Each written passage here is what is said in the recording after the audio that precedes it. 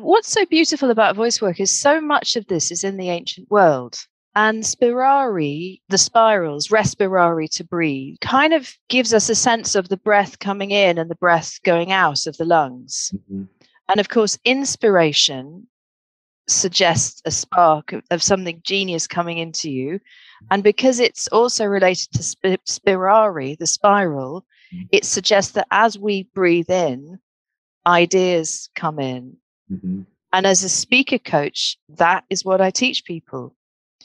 On the pause, close your mouth, wait, let the next thought arrive, speak it. And that's what good speakers tend to do on stage. But it is just about really understanding that the in breath is your control moment by moment as a speaker on stage. It's your breaks, it's your pause.